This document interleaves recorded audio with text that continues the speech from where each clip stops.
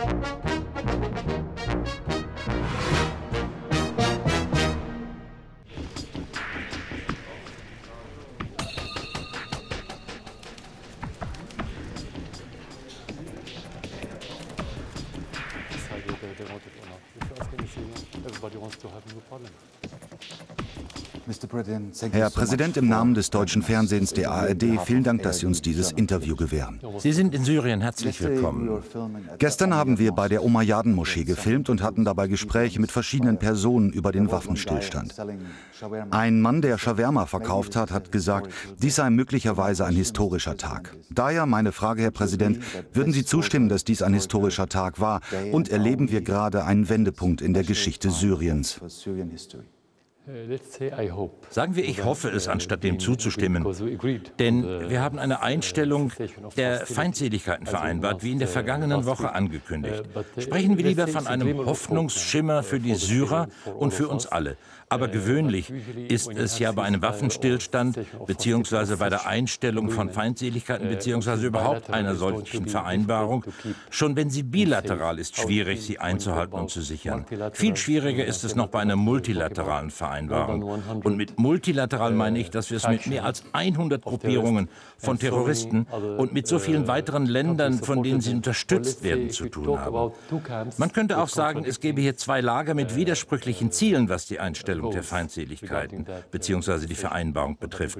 Sagen wir also, dass wir hoffen und wir werden das Unsrige tun, damit das Ganze funktioniert. Jedenfalls reicht der gute Wille sicher nicht. Was tun Sie, Sie und die syrische Regierung, um die Stabilität des Waffenstillstands zu sichern? Er hat ja erst vor weniger als 48 Stunden begonnen. Und da Sie schon seit einigen Tagen im Lande sind, wissen Sie, glaube ich, dass die Terroristen den Waffenstillstand von der ersten Stunde an gebrochen haben. Die syrische Armee dagegen hat auf Vergeltung verzichtet, um die Chancen für ein Überleben der Vereinbarung offen zu halten. Das können wir für uns aus tun. Aber am Ende hat alles seine Grenzen. Es kommt auf die andere Seite an. Warum hat es so lange gebraucht, eine Vereinbarung zu erreichen? Das Zustandekommen der Vereinbarung hat gar nicht so lange gedauert. Die anderen Länder, die die Terroristen betreuen, haben so lange gebraucht, daran zu arbeiten. Vorwiegend die Amerikaner. Sie reden erst seit wenigen Monaten darüber. Wir haben von Anfang an diesen Prozess auf lokaler Basis begonnen und sprechen hier von lokaler Aussöhnung. Dort, wo die Feindseligkeiten eingestellt wurden, wo den Militanten eine Amnestie gewährt oder angeboten wird, damit sie sich der syrischen Armee anschließen oder in ihr normales ziviles Leben zurückkehren können. Wir haben diesen Prozess also früher, während der letzten Jahre eingeleitet. Und er war in vielen Gegenden erfolgreich. Diesmal jedoch ist alles, wie bereits erwähnt, ganz anders und viel umfassender. Es ist zwar keine vollumfassende, aber eine umfassendere Vereinbarung. Vor drei Tagen waren wir in Dareya und haben auf der anderen Seite schwere Bombardierungen beobachtet. Ich meine, dies ist eines der Probleme in Syrien. Wer entscheidet darüber, ob man Terroristen wie den sogenannten Islamischen Staat oder die Al-Nusra-Front bekämpft oder ob es sich um aufständische Rebellen handelt? Sie sind für mich der Einzige, der das definieren kann. Ich nehme also an, dass der Frieden in Ihren Händen liegt. Was meinen Sie mit der Frieden in meinen Händen? Das ist doch Ihre Entscheidung, ob Sie zuschlagen oder nicht. Und Sie entscheiden, wer oder was die anderen sind. Da haben Sie recht. Bei einer solchen Vereinbarung müssen Sie sich zwei Fragen stellen. Was sind die Landkarten, das heißt die militärischen Karten, von denen Sie ausgehen, und welche sind die Kriterien oder sagen wir die Mechanismen, nach denen der Waffenstillstand zu überwachen ist? Zu diesem Zeitpunkt ist es mehr als 24 Stunden her, dass wir mit der Einstellung der Operation begonnen haben, und bisher verfügen wir über keine Karten. Die Vereinbarung ist damit noch nicht ausgereift. Wenn es soweit ist, kann man als eine der verantwortlichen Parteien auch Verantwortung für das Überleben der Vereinbarung übernehmen. Nehmen wir einmal an, Herr Präsident, ich wäre ein Aufständischer, nicht ein Terrorist von IS oder Al-Nusra, sondern ein aufständischer Rebell der Freien Syrischen Armee. Was muss ich tun, damit Sie mich wieder als syrischen Zivilisten akzeptieren? Legen Sie einfach die Waffen nieder, ob Sie nun am politischen Prozess teilnehmen möchten oder sich für diesen gar nicht interessieren, ob Sie überhaupt keine politische Agenda verfolgen, das spielt keine Rolle. Das Wichtigste für mich ist aus rechtlicher und verfassungsrechtlicher Sicht und im Hinblick auf das Interesse des syrischen Volkes und die in jedwedem Staat geltenden Grundsätze, dass sie als Bürger nicht das Recht haben, mit Maschinengewehren herumzulaufen und diese gegen Menschen und deren Besitz zu richten. Mehr verlangen wir nicht. Wir verlangen überhaupt nichts. Wie schon gesagt, bekommen sie eine uneingeschränkte Amnestie und das ist auch schon der Fall gewesen. Sie sind der syrischen Armee beigetreten und einige von ihnen auch dem politischen Leben. Also bieten Sie sämtlichen Aufständischen eine echte Amnestie an. Und das funktioniert auch. Wir haben das getan und es hat funktioniert. Warum kann die syrische Regierung nicht akzeptieren, dass man es mit zwei verschiedenen Gruppen zu tun hat. Auf der einen Seite mit den Terroristen von IS und Al-Nusra-Front, auf der anderen Seite mit den aufständischen Rebellen, die, sagen wir, ziviler sind. Warum sagen Sie immer, Sie bekämpfen lediglich Terroristen? Wer bewaffnet gegen Zivilisten oder gegen privates oder öffentliches Eigentum vorgeht, ist von Rechts wegen ein Terrorist. Ich glaube, das ist bei uns nicht anders als in Ihrem Land. Sie akzeptieren bei Ihnen auch nicht, was man Aufständische nennt. Sie haben zwar eine Opposition, akzeptieren jedoch nicht, dass eine sogenannte gemäßigte Opposition sich bewaffnet, um ihre Ziele zu erreichen. Das wird in keinem Land geduldet. Soweit ein Aspekt Ihrer Frage. Nun der andere. Wir bezeichnen nicht jeden Militanten als Extremisten.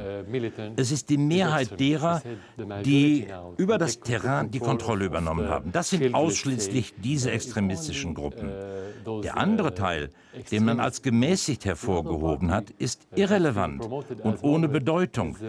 Sie haben gar keinen Einfluss vor Ort, sodass dort die meisten sich den Extremisten anschließen müssen. Nicht, weil diese Extremisten sind, eher vielleicht aus Angst oder wegen des Geldes oder eines Soldes. Daher sagen wir, dass wir die Extremisten bekämpfen, da der wahre Feind, nämlich der Terrorismus, aus diesen terroristischen Gruppen besteht. Vorwiegend IS und Al-Nusra, aber auch Ahrar al-Sham sowie Jaish al-Islam. Sehen Sie de facto nicht doch einen Unterschied? Diese Terroristen kommen doch aus dem Ausland, aus Saudi-Arabien, aus Tschetschenien und woher auch immer. Die Aufständischen dagegen sind doch zumindest Syrer. Und irgendwann in diesem Prozess werden Sie doch mit ihnen reden müssen. Warum können Sie nicht heute damit anfangen? Das haben wir getan. Wir haben es bereits getan und das meinte ich ja gerade, als ich von Aussöhnung sprach. Im Rahmen der Aussöhnung muss man mit den Militanten reden. Da spricht man nicht mit einer politischen Opposition, sondern mit den Menschen, die vor Ort kämpfen. Das haben wir getan und ich stimme dem zu. Während Sie jedoch von zwei verschiedenen Gruppen, den syrischen Aufständischen und den anderen reden, arbeiten diese de facto zusammen. Es gibt in Syrien keine Gruppe von Ausländern, sondern nur Ausländer, die in denselben Gruppen mit den Syrern verschmelzen und die dieselbe Ideologie, dieselbe Hoffnung auf einen sogenannten islamischen Staat oder ähnliches hegen. und in dieser selben Ideologie niemanden akzeptieren, der nicht aussieht wie sie. Herr Präsident, Sie haben einem Übergangsprozess zugestimmt. Welche sind die nächsten Schritte? In diesem Prozess geht es tatsächlich um die Bildung einer Regierung der nationalen Einheit, zu der jeder gehören kann, der sich der Regierung anschließen möchte. Diese soll die nächste Verfassung vorbereiten. Nach der Verfassung sollen Parlamentswahlen kommen, mit denen das Gesicht des nächsten oder des neuen Syriens geprägt werden soll. Das sind die wichtigsten Schritte für die Übergangsphase. Ich war im Jahre 2012 hier, als die letzten Parlamentswahlen stattfinden. Wie können Sie in Zeiten des Bürgerkriegs Wahlen abhalten? Zunächst einmal gibt es keinen Bürgerkrieg, da die Definition nicht stimmt. In einem Bürgerkrieg sind gewisse Linien zu erkennen, gesellschaftliche Linien, je nach religiöser oder ethnischer Zugehörigkeit oder andere vergleichbare Linien. Diese haben wir derzeit jedoch nicht, da in den durch die Regierung kontrollierten Gebieten das gesamte Spektrum der syrischen Gesellschaft in all seiner Farbenvielfalt abgebildet ist. Mit der Definition Bürgerkrieg liegen Sie daher nicht richtig. Tatsächlich muss es heißen, die Terroristen gegen den Rest. Zweitens zu den Wahlen. Die sind ja zunächst einmal keine Freizeitbeschäftigung und folgen nicht aus der Auffassung des Präsidenten oder aus der Stimmung in der Regierung. Damit haben sie gar nichts zu tun, sondern sie sind Ausdruck der Verfassung. In unserem Krieg geht es um die Unabhängigkeit unseres Landes. Denn Mann, das heißt andere Länder und vor allem der Westen, Saudi-Arabien und Katar, will die Regierung und den Präsidenten absetzen. Man will den Staat zerstören und aus Syrien ein nach Religionen geteiltes Land wie den Libanon und vielleicht den Irak machen. Die Verfassung ist heute ein Symbol der Einheit und der Souveränität und das Symbol für ein unabhängiges Land. Wir müssen uns an die Verfassung halten. Verfassung ist jedoch nicht das, was auf dem Papier steht, sondern die Art, wie man damit umgeht. Dazu gehören auch die Wahlen und diese sind kein Recht der Regierung, sondern das Recht jedes einzelnen syrischen Bürgers. Die Bürger entscheiden darüber, ob sie Wahlen wollen oder nicht und egal welchen Syrer sie fragen, sie alle wünschen sich ein neues Parlament. Ist die Verfassung, ist die Stabilität in Syrien wichtiger als das Leben von Hunderttausenden? Es gibt da keinen Widerspruch und nicht die Frage, was wichtiger ist. Ohne Stabilität gehen Tausende von Menschenleben verloren. Herrscht Stabilität, so kann man Menschenleben retten.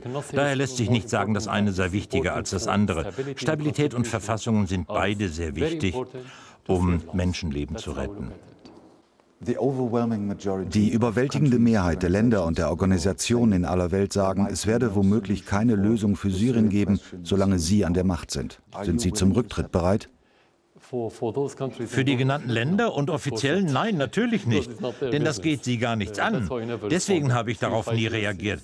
Wir hören diese Dinge jetzt seit fünf Jahren und es ist uns egal, was von dort kommt.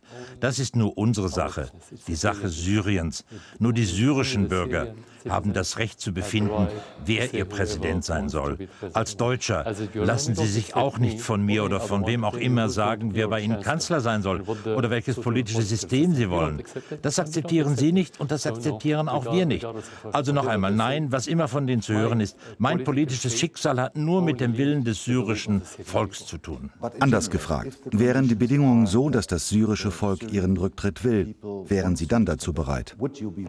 Ja, natürlich, keine Frage. Wenn das syrische Volk will, dass ich diesen Platz räume, dann habe ich das sofort und ohne Zögern zu tun. Wollen Sie als Offizieller, als Präsident, als gewählter Regierungschef oder was auch immer erfolgreich sein, dann brauchen Sie die Unterstützung der Öffentlichkeit. Ohne diese erreichen Sie gar nichts. Was könnten Sie dann überhaupt anfangen? Die Dinge sind also eng verknüpft, der Wille der Bevölkerung und ihre Aussichten, etwas zustande zu bringen bzw. erfolgreich zu sein. Gibt es schon Vorstellungen über den Zeitpunkt für diesen Schritt? Sie wissen sicher, dass viele Termine im Raum stehen. Einer kommt aus der Umgebung des Büros von UN-Sondergesandten de Mistura. Dort heißt es, der wahrscheinlichste Termin sei das Jahr 2018. Nein, nein, das geht die doch gar nichts an. Es gibt dazu auch keinerlei Plan. Wie schon gesagt, ist dies eine rein syrische Frage, die ausschließlich unter Syrern zu erörtern ist. Würden Sie zustimmen, dass wir in Syrien ein humanitäres Desaster erleben? Natürlich, keine Frage. Warum hat es dann so lange gedauert, bis Sie einen uneingeschränkten Zugang zu den belagerten Gebieten in Syrien gewährt haben?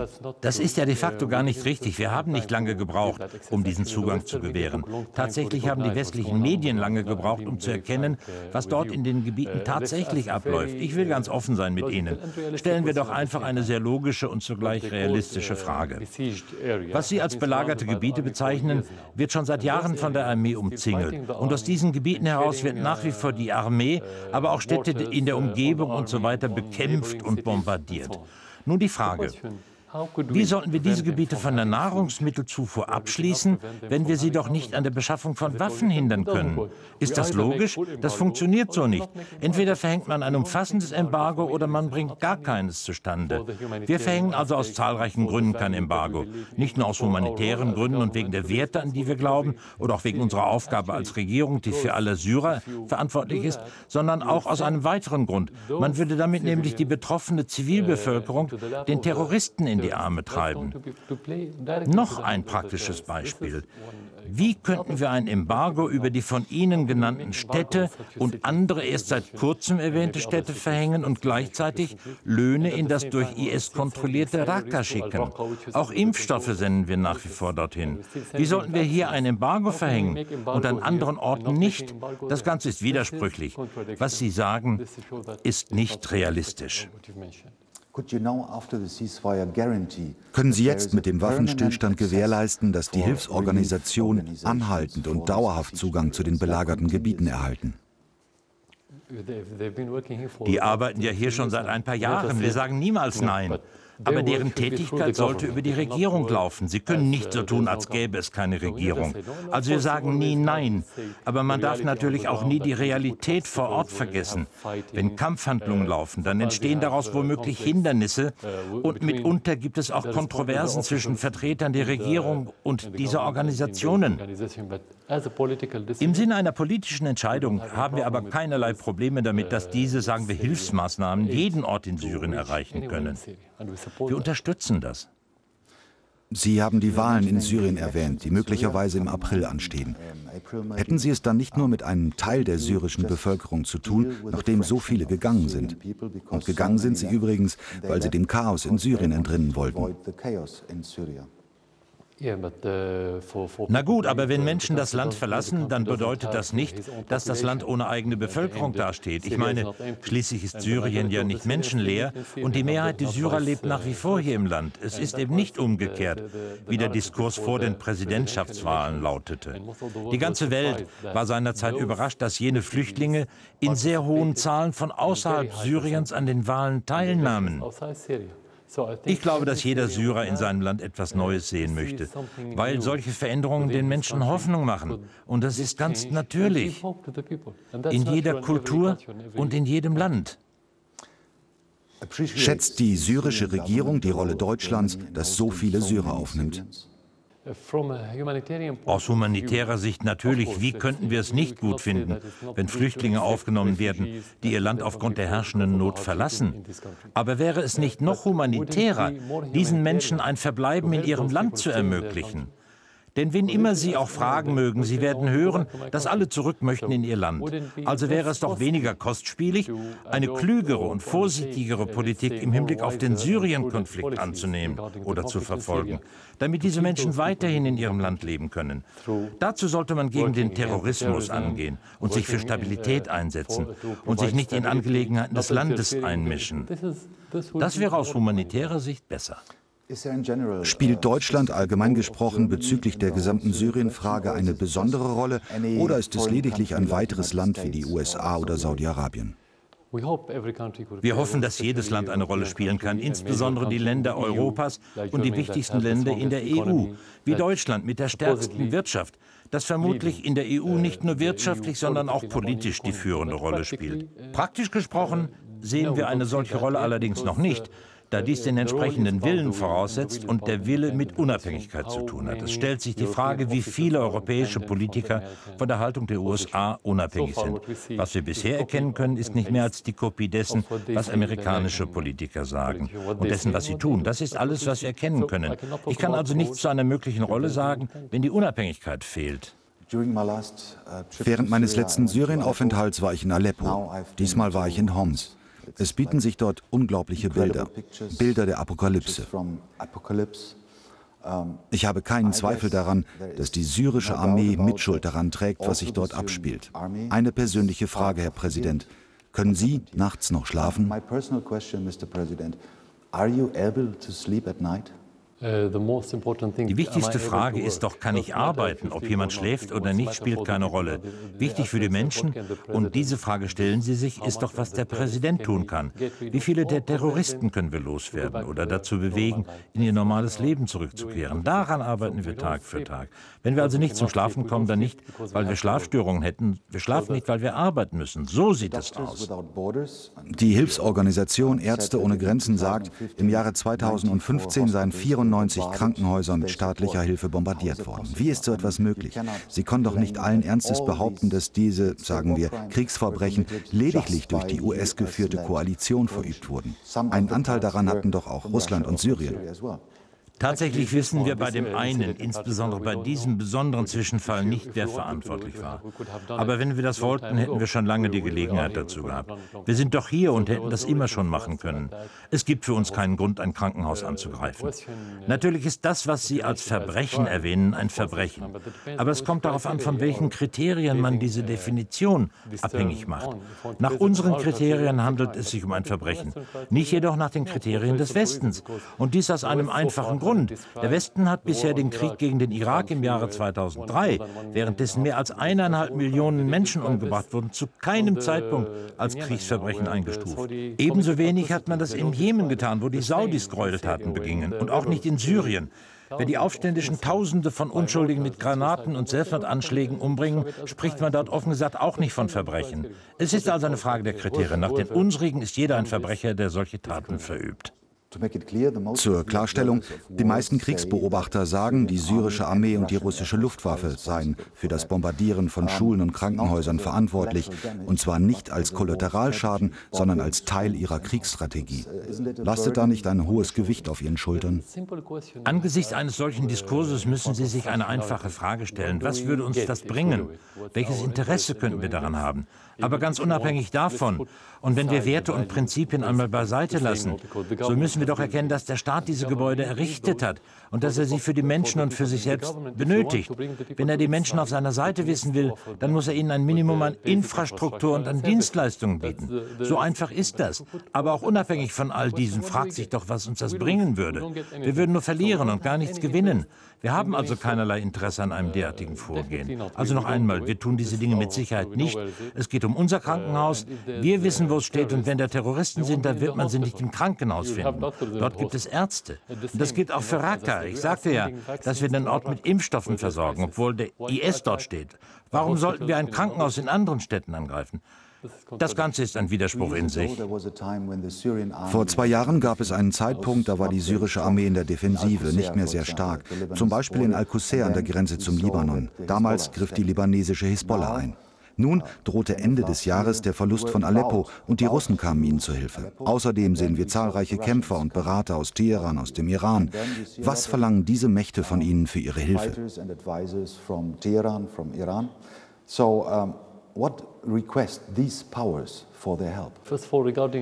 Zunächst dies, zu dem, was Sie Niederlage nennen. Tatsächlich besteht jeder Krieg aus einer Reihe von Schlachten. Manche verlieren sie, andere gewinnen sie. Was man an einer Front verliert, gewinnt man an der anderen. Es ging dabei nicht um Verlieren oder Gewinnen. Es ist kein einfacher Krieg, denn wir kämpfen gegen zig Länder, die diese Stellvertreter, Söldner und Terroristen unterstützen. Unsere Alliierten und Freunde, die auf unterschiedlichste Weise am Krieg beteiligt sind, die einen direkt, die anderen eher indirekt, haben eine ganz andere Sichtweise. Weise. Sie sind nicht nach Syrien gekommen, um den syrischen Präsidenten oder die syrische Regierung und so weiter zu unterstützen. Sie kamen, weil sie wissen, dass der Terrorismus, wenn er sich in einigen Gebieten durchsetzen kann, keine Grenzen mehr kennt. Er erkennt Grenzen überhaupt nicht an. Und der IS ist dafür das beste Beispiel. Von Libyen über den Irak bis nach Syrien gibt es keine Grenzen. Wenn also der Terrorismus diese Region unter seine Kontrolle bringt, dann greift er automatisch auf andere Gebiete und nicht nur auf Nachbarländer über. Das wird von Ihnen ganz klar gesehen. Sie sind nicht zu unserer Verteidigung gekommen, zumindest nicht zu unserer ausschließlichen, sondern zu Ihrer eigenen. Sie kamen auch nicht, um von mir irgendetwas zu verlangen. Alle unsere Freunde achten unsere Souveränität und verlangen keinerlei Gegenleistung. Herr Präsident, ist Syrien nach wie vor ein souveräner Staat oder wird Ihre Politik bereits in Teheran bzw. im Kreml gemacht?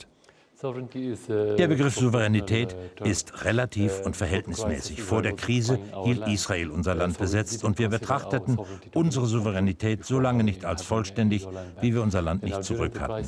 Und jetzt überschreiten während der Krise zahlreiche Terroristen unsere Grenzen. Und viele Flugzeuge der Amerikaner und ihrer Alliierten, was man dort als Allianz bezeichnet, verletzen unseren Luftraum. Auch hier kann man nicht von vollständiger Souveränität sprechen. Gleichzeitig ist man allerdings nach wie vor souverän, wenngleich nicht im vollen Umfang des Begriffs, wenn man eine Verfassung hat, wenn die Institutionen funktionieren und wenn der Staat mit seiner Arbeit ein Minimum für das syrische Volk leistet und wenn schließlich das syrische Volk sich keiner anderen Macht zu unterwerfen hat, was sicher das Wichtigste von allem ist. Schauen wir fünf Jahre zurück in die Zeit, als die Aufstände in der arabischen Welt begannen, auch in Daraa, im Süden Syriens an der Grenze zu Jordanien. Wir haben den Eindruck, dass dort ein paar übermütige Jugendliche Graffitis an eine Mauer gesprüht haben und dafür inhaftiert wurden. Als ihre Eltern sie zurückhaben wollten, haben die Sicherheitskräfte mit äußerster Härte zurückgeschlagen. War es klug, derartige Verrücktheiten von jungen Menschen so hart zu bekämpfen und damit den Startschuss für den Bürgerkrieg zu geben? Zunächst einmal hat es die ganze Geschichte gar nicht gegeben. Sie ist einfach nicht passiert, sondern war reine Propaganda. Wir haben davon gehört, aber nie auch nur eines dieser Kinder gesehen, die ins Gefängnis gekommen sind. Es war eine Lügengeschichte. Angenommen, das Nicht-Geschehene sei geschehen. Vergleichen wir es dann doch einmal mit den Ereignissen in den USA im vergangenen Jahr, wo alle über die Tötung vieler Schwarzer durch die Polizei diskutierten, die in den USA von sehr vielen Menschen verurteilt wird. Hat da etwa irgendjemand den Leuten gesagt, sie sollten sich Maschinengewehre besorgen und andere Menschen umbringen, nur weil der Polizeibeamte einen Fehler begangen hat? Das ist natürlich keine Entschuldigung. Also geschehen ist das Erwähnte nicht. Wäre es jedoch geschehen, so wäre es kein Vorwand für irgendjemanden, sich zu bewaffnen, gegen die Regierung zu kämpfen und unschuldige Zivilisten zu töten. Und die nächste Frage, welche Gegenmaßnahmen würden Sie ergreifen, wenn auf Ihren Straßen Menschen andere Menschen umbringen und sich an fremdem Besitz vergreifen? Sagen Sie denen, macht was ihr wollt, wir sind offen für alles und reagieren werden wir auch nicht? Das wäre nicht in Ordnung. Wir haben da keine Wahl. Wir müssen ihnen Einhalt gebieten und sie am weiteren Töten hindern. Andererseits kommen sie mit Maschinengewehren und da können wir sie nicht mit Luftballons bekämpfen. Gegen diese militanten Kräfte können wir nur mit unseren eigenen Waffen angehen. Eine Alternative hatten wir nicht. Der Krieg in Syrien destabilisiert die ganze Region, besonders die Staaten in der Umgebung wie die Türkei, den Irak, Jordanien und den Libanon. Aber er hat auch bereits seine Auswirkungen auf Europa und betrifft damit große Teile der Welt. Was wollen Sie unternehmen, um diesem Albtraum ein Ende zu setzen? Es geht hier nicht nur um Syrien. Unsere Aufgabe ist zweifach gelagert. Und so haben wir seit dem Ausbruch des Konflikts zwei verschiedene Wege verfolgt. Erstens den Dialog mit allen Seiten, mit Ländern, Staaten, politischen Gruppierungen, Militanten und so weiter, um die Stabilität zu erhalten oder wiederherzustellen. Den zweiten Weg bildet die Bekämpfung der Terroristen, die ihre Waffen nicht niederlegen wollen. Dazu gibt es keine Alternative.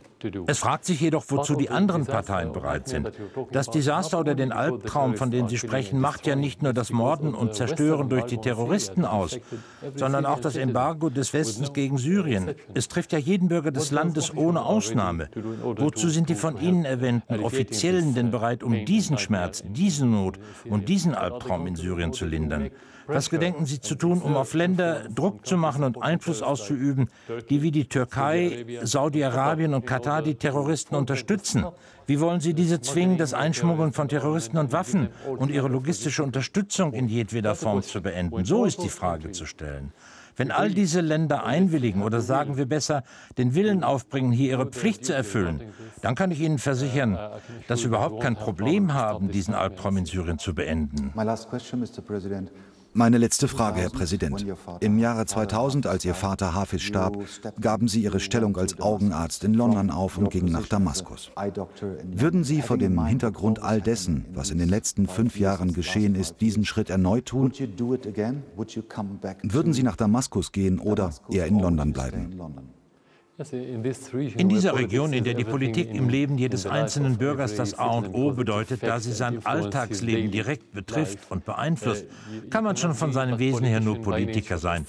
Das gilt für jeden Bürger Syriens angesichts unserer Lebensumstände. Und natürlich spüre ich als Spross einer politischen Familie dieselbe Leidenschaft für die Politik.